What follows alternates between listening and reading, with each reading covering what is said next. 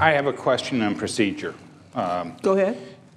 If we were on a two-thirds vote, uh, would we have the ability to change this on a two-thirds vote with a, perhaps a rules change? Or how, is there a way that we could get there today? Because clearly, uh, we have a time limit, and I want to be reasonable with it. But I, I I think that when you compare farm workers to women, I don't think women want farm workers to get lesser pay.